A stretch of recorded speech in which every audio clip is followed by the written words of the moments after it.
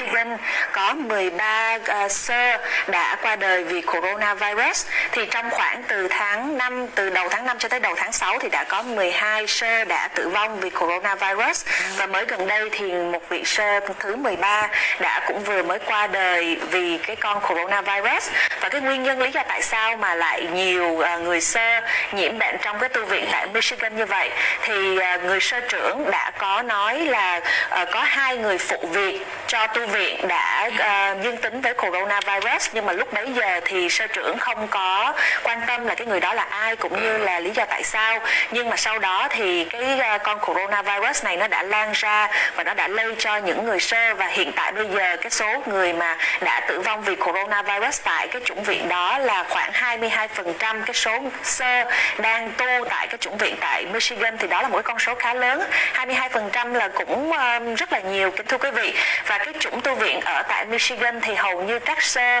um, toàn là những sơ lớn tuổi và sơ lớn tuổi nhất vừa mới qua đời đó là sơ đã um, 99 tuổi rồi. Uh, và các sơ có nói là coi như cái con coronavirus này nó quá kinh khủng và nó còn kinh khủng hơn cả cái uh, cái thời gian mà cái uh, con cúm Tây Ban Nha vào năm 1918 nữa. Tại vì cái thời điểm đó thì trong lịch sử của chủng tu viện không có nhiều sơ qua đời vì cái con cúm Tây Ban Nha đến như vậy. Và hiện tại thì cái con coronavirus này nó đã gây ra rất là nhiều thiệt hại thương vong um, cho chủng tu viện và đặc biệt là chủng tu viện của bên tiểu bang Michigan. Kính thưa quý vị trở lại với uh, tình hình phải đeo khẩu trang hay là không đeo khẩu trang thì uh, tại bây giờ đó là hầu như có một số nước ở trên thế giới ví dụ giống như là bên UK, bên Ấn Độ, bên Pháp, uh, Cộng hòa Séc, Cuba, Pakistan và Iran thì hầu như là đã có một số những cái lệnh bắt buộc từ chính phủ uh, bắt buộc người dân phải đeo khẩu trang khi đi ra đường. Và đó cũng là cái lý do tại sao mà bà uh, thượng nghị sĩ Elizabeth Warren cái bà này quý vị nhớ không là cái một trong những cái người ứng cử viên mà cho đảng dân chủ để mà um, đấu vào nhà trắng khi mà uh, chọn ai sẽ là người đại diện cho đảng dân chủ để mà uh, đối đầu với tổng thống Donald Trump đó? Thì cái bà uh, Elizabeth Warren này bà đang uh, hỏi cái uh, trung tâm CDC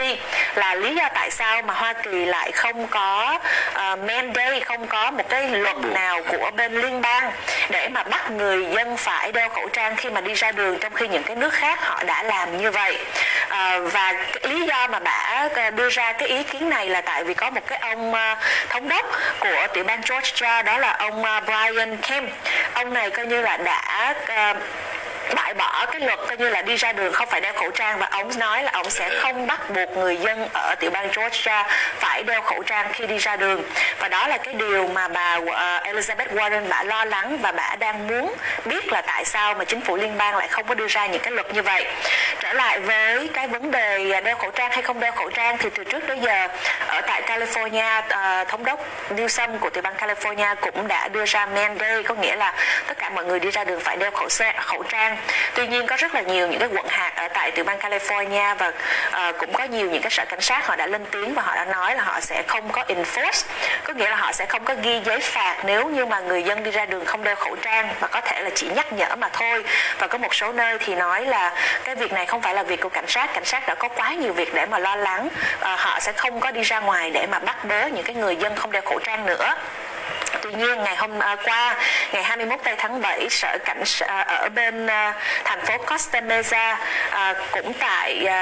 quận Cam của chúng ta đây thành phố Costa Mesa đã bắt đầu phát động chiến dịch là nhắc nhở cư dân phải đeo khẩu trang nơi công cộng và nếu như mà kể từ bây giờ nếu mà người dân của Costa Mesa hoặc là đi vào Costa Mesa mà không đeo khẩu trang thì có thể sẽ bị phạt 100 Mỹ Kim. À, trước đây thì Costa Mesa cũng đã bắt phải đeo khẩu trang rồi nhưng mà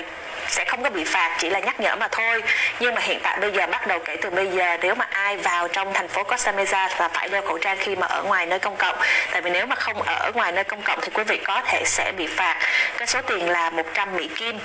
à, kính thưa quý vị trở lại với cái vấn đề mà làm xét nghiệm coronavirus thì ngày hôm nay cũng có một cái bản tin từ Fox News. Đó là cái công ty Quest Diagnostics là một trong những cái phòng lab mà lớn ở Hoa Kỳ. Và họ chịu trách nhiệm uh, xét nghiệm những cái mẫu phẩm để xem xem là có dương tính với coronavirus hay không. Thì hiện tại bây giờ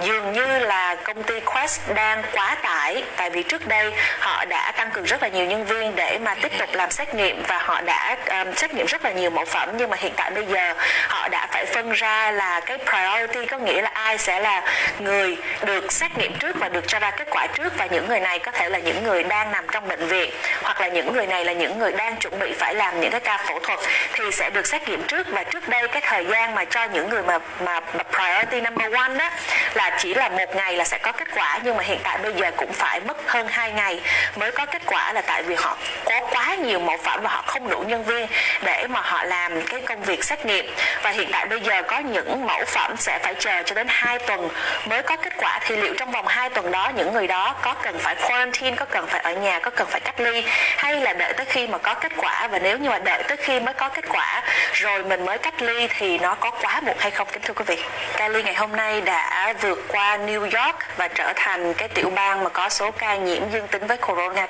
virus cao nhất ở trên toàn nước Mỹ. Tại vì ngày hôm nay thì, tính tới các số liệu ngày hôm nay thì ở California đã có 409.000 trường hợp nhiễm dương tính với coronavirus trong khi ở New York thì chỉ có khoảng 408.000 trường hợp mà thôi à, và không những như vậy thì à, ngoài à, ở tiểu bang uh, California cũng như là ở New York thì cái tiểu bang thứ ba mà có cái số ca nhiễm nhiều ở trên Hoa Kỳ đó là tiểu bang Florida với cái số ca nhiễm là 370.000 trường hợp thì như vậy cái ca nhiễm nó càng ngày nó càng tăng và cũng giống như anh Trọng nói. Tuy là ở tiểu bang California mình đã uh, cho mở cửa cái nền kinh tế trở lại và rồi sau đó là đóng và rồi bây giờ cho những cái ngành ví dụ như ăn uống nail và tóc ra ngoài trời để mà họ tiếp tục mở cửa phục vụ uh, uh, người dân. Thì đó cũng là một cái rất là khó khăn cho những cơ sở thương mại. Tại vì như quý vị biết đó những cơ, cơ sở thương mại mà nail với lại tóc trước đây là bị hoàn toàn đóng và không có cho mở cửa nữa. Và sau đó thì họ đã phải mua rất là nhiều những cái thiết bị y tế cũng giống như là phải làm những cái tấm trắng. Và sau khi mở cửa được 3 tuần tốn rất là nhiều tiền. Thì bây giờ lại bị đóng và có một số những cái uh, cửa hàng đã phải dời ra ngoài. Nhưng đó chỉ là trường hợp dành cho những cửa hàng những cái uh, cửa tiệm nail tiệm tóc tiệm uh, nhà hàng ăn uống mà có cái khoảng trống ở phía trước cửa hàng của mình cái trước tiệm của mình nhiều và to lớn thì mình mới có thể làm được điều đó. Còn có những cái shopping mall ví dụ giống như khi mà quý vị đi ở ngoài bonsai chẳng hạn có những cái shopping mall ngay cả cái parking nó cũng đã rất là nhỏ rồi. Thì không thể nào mà họ có đủ cái khoảng không gian để mà set up những cái bàn để mà ngồi ở ngoài để mà họ tiếp tục làm việc. Thì những cái chủ cơ sở đó họ phải tính toán như thế nào và những cái người nhân viên làm cho những cái chủ cơ sở đó